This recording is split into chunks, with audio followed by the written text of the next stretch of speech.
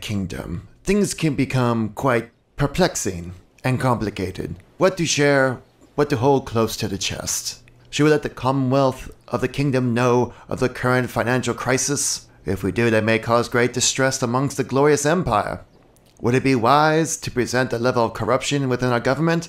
If so, we could lose trust of the people. Should I feel guilty about having sex with my sister for the fourteenth time? Questions a man of my stature must ponder. That is why I entrust you, Littlefinger, for counsel. Of course, my highness. Then why the snicker? The what? The snicker on your expression. I feel you're not being very trustful with me, Littlefinger. Oh, my sincerest apologies. It must be the allergies acting up again, my highness. These summers, they last so long. Yes, yes indeed. As counsel, you withhold the secrets that could topple a nation.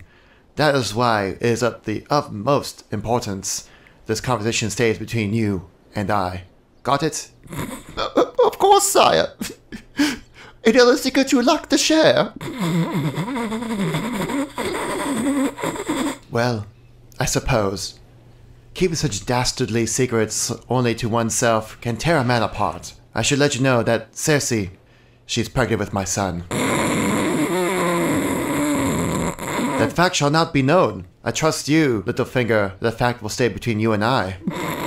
But of course, your secret is safe with me. Anything else you would more like to share, your highness? Well, Cersei was rather hands on, if you will. Ooh, do tell. Are you sure you won't tell anyone? Because if you do, this could discredit the legitimacy of the crown. Oh, you could trust old Littlefinger here. Still trap my mouth be.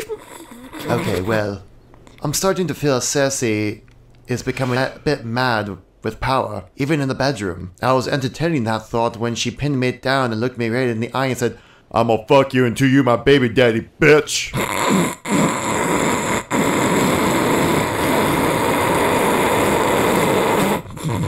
Oh, wow. You wouldn't want that to get out now, would you? No, that is why I need you, Littlefinger. I need you to go around the castle and talk to everyone. I need to know if anyone else is having the same concerns. Makes sense to me, sir. That way I can build a case to show Cersei the error of her ways. Not a word. And make sure not to mention anything about the sex stuff, okay? Thank you, Littlefinger. You are a true friend and a great ally in these troubling times. Now, be off! Talk to the people and relay your findings back to me. And only me. Oh my god. Oh my god, oh my god, oh my god, oh my god. Oh my god, oh my god. Oh my god. I should go and bang my sister now. Oh, but I feel so guilty about it.